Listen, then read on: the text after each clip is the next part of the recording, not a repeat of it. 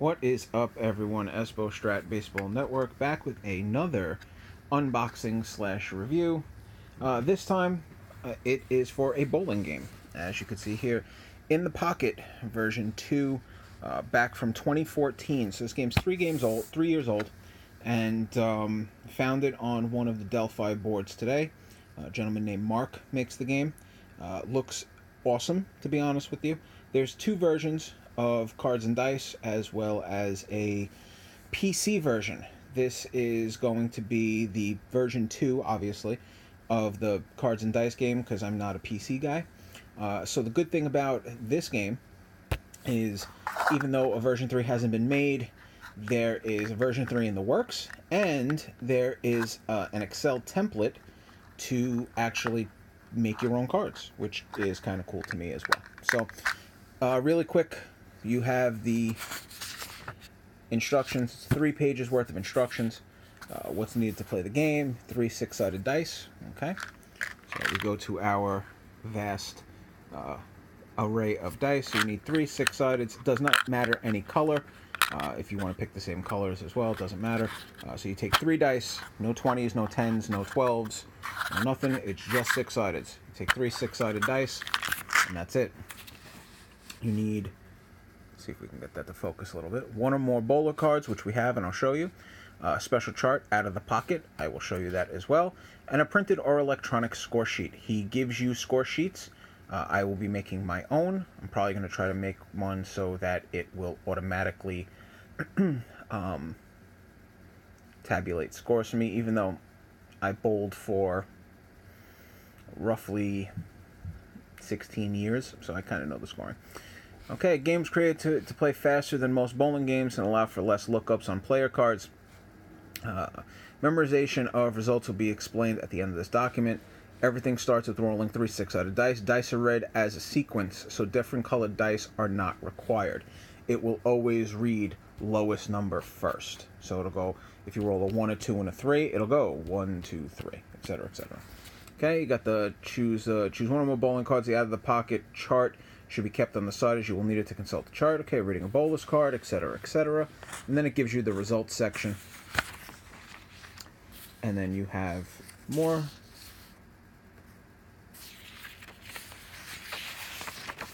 Instructions here and here. Here are the out of the pocket charts. Uh, so if you have a high low sequence, you, you roll a 1 1 1, bowler leaves a 7 10 split, roll three dice. If you roll triples, he makes the spare. If any any pair, uh, meaning like a 1, a 5, and a 5, it's an 8 0. If you roll anything other than that, it's an 8 1. It's still an open frame, etc. etc. So these are those. And then there is another one of the out of the pocket charts. Here are the bowl. Here are the bowler cards. Comes in a PDF format, so you will have to cut and print yourself. I put these on 110 pound cardstock, as well as the charts. You will see that these are his top 32 greatest bowling individual bowling uh, seasons of all time. And what he did here is Mark actually um, normalized their scoring to actually compete with the better or the newer, let me not say better, newer bowlers. So you'll see here that um, so we start with Walter Walter Ray Williams Jr. The R means he's a righty. It gives you this is his 2007 card, uh, what his average was, uh, and then what his normalized average would be of 224.94. So what it says here is if you roll a 2 2 3 3 or 4 4, you you will then consult the out of the the pocket uh, chart and then you'll re-roll three dice. If you roll a 1 1 1, it automatically is a 9 open frame. A 2 1 1, uh, 4 1 1, 5 1 1, and 6 1 1, they are all strikes. Uh, don't know why, if you roll a 3 1 1, why it's not here. I haven't figured that out yet. Okay. If you roll a 5 5X or a 6 6X, these two are only good for frames 2 through 10. So if you roll a 5, 5, and a etc., what will happen is you will revert back to what his score was two frames ago. What he likes to deem this as, and it's in the rule book, uh, as figuring out the the the lane. But if it's not two frames, if the if you don't have a chance to go back two frames, or you don't have a chance to go back one frame, uh, you will then use these. So if he you roll a five five three or a six six three, and it's the first frame, he gets a seven one. So you have to also keep in mind that there are instances where it could be where a 5-5x, you may have rolled a 5-5-3 on your first ball, so you have that 7-1. In the third frame, you roll a 5-5-3 again, you're going to go back two frames and see that he rolled a 7-1 again. So definitely keep that in mind. Now, on instances where these total numbers aren't on, none of the numbers that you rolled are referred to here. And I just realized why 311 is not on here. Okay, good. So if on instances where none of the numbers that you've rolled, just get three dice out really quick. And I hate these dice because they're rounded edges. So a 554, 554 would be a 6-3 open frame. Or if it's two frames, obviously, et cetera, et cetera. So what would happen is is that on instances where none of these numbers are, res- are correspond to these dice, you would actually add the total and look down here. So this is a 14. For instance, if a 14, if it wasn't a 554, if it was a 644, that wouldn't be represented in any of these. So you would look down here. 644 is 14, 10, 10 to 15 is a strike. So he would get a strike for that frame. Uh, you roll a 7 total, it's a 7 spare. 6 is a 6 spare. 8 is an 8 spare. 9 is a 9 spare, etc., etc. Pretty self explanatory for that. One thing I really do like about this is that it takes out the variables for for uh, lane conditions. Uh, so you don't have to worry about oh what type of oil pattern is it, etc., etc. Uh, there's nothing that says you can't make your own um, tournament chart, so you can have your own professional bowlers tour and put them in any location that you want. You can play a single game, you could play match game, you could play Baker style, you could play uh, a team, a team game, uh, anything you want with these 32. And just to give you an example, uh, you know, an idea of who's in here, you have Mark Roth, Norm Duke, Earl Anthony, Mike Aulby, Jason Belmonte, Chris Barnes, Parker Bohn III, Billy Hardwick. Uh, let's see. Sean Rash, Wes Malott, Bill O'Neill, Ray Bluth, Jason Couch, Dick Weber, Patrick Allen, Michael Fagan, Pete Weber, Mike Scroggins, Brian Voss, Mika Koivuniemi, Marshall Holman, uh, David Ferraro, Osku Palermaa. And that's, this is somebody I don't know. I, I've really stopped watching bowling for a very long time. Uh, Amleto Monacelli, Robert Smith. Robert Smith is one of my favorite bowlers of all time. Uh, Dick Allen. And then, as you can see, you got these NA here cards, and I'll get to those in a minute. Uh, the last five in this list are Ryan Shafer, John Grant, Del Ballard Jr., Mark Baker, and Eric Forkel. So guys like Carmen Salvino and uh, Carmen Salvino isn't in this isn't in this uh, list. Uh, let's see, you have Tommy Jones is not in this list.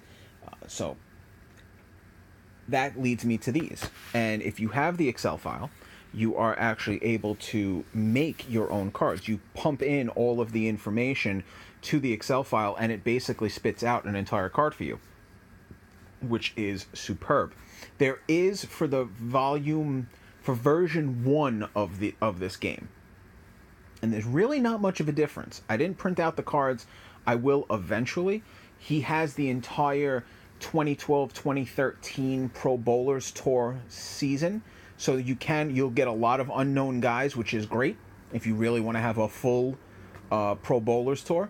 I think for us, for YouTube purposes, for the ESPO Bowling League, the EBL, or the EBN, ESPO Bowling Network, uh, I think these 32 are going to ring true or strike a chord with everyone who's ever watched bowling or has bowled at all. I think this is going to be perfect because you'll be able to actually remember Mike Aulby and Earl Anthony. Norm Duke isn't in here either, which, oh, he is. He is. Norm Duke is here. You know, I haven't really had a chance to look through the cards yet. Uh, so I'm going to cut the cards, have my handy dandy trusty cutter here. I recommend this cutter.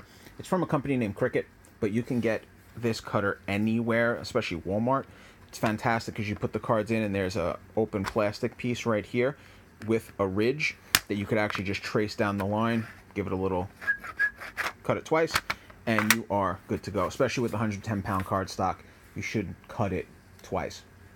Uh, so yeah, it basically gets to the edge of the page. You're just gonna have a little bit of runoff here that you're gonna have to trim off. It's really nothing crazy. And that's really it. I'm kind of interested in this. This is going to be a lot of fun. I am going to develop a way to do a full Pro Bowlers tour. Uh, I think, you know, I know Bowl-O-Rama from Play, and I think Home Card. Uh, home court games has a has a pro bowling game that I'm real I'm still really looking at, which I may still get. Um, the one beautiful thing about this, here's your price point, free. That's the most important thing to me. You know, if you want to play tabletop on a budget, I already have the cards. I already had the pay the the card stock. I already had the dice rather. I already had the card stock. Why not just download the cards and print them out and say, "Hey, here you go. Here's a free game." And again, he ha- does have a Delphi. Search in the pocket bowling uh, Delphi, and it'll pop right up and it's still active and mark is super friendly and super active with everybody on the board which is great and i think it's going to be a lot of fun. So be on the lookout for the professional espo bowling league professional bowlers tour. 32 guys. I'll do it the old way. And when i say the old way it's going to be step ladder finals for the tv tapings of the game itself. So all the match play all of the leading up to is going to be done behind the scenes.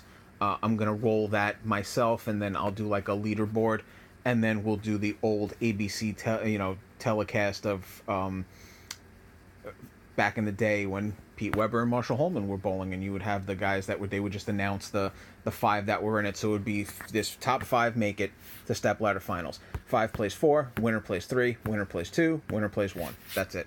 So I think it's gonna be a lot of fun. It's gonna be something to deviate from the norm. And uh, yeah, anybody who wants to download it, download it, print it out. Tell me what you think. Um, definitely, I know bowling is definitely a niche sport, but I think it'll be a lot of fun, and I think it'll be something that we can uh, we can all talk about and talk shop on. So it'll be a lot of fun. Espo Strat Baseball Network. We will talk again soon, and next time you see me, hopefully I'll be one tooth less because I have my tooth uh, my dentist appointment tomorrow, and um, next time we, we, we meet, we'll be doing a live feed for the Carlton replay. Definitely have a doubleheader of, of starts four and five for that. All right, guys, talk again soon.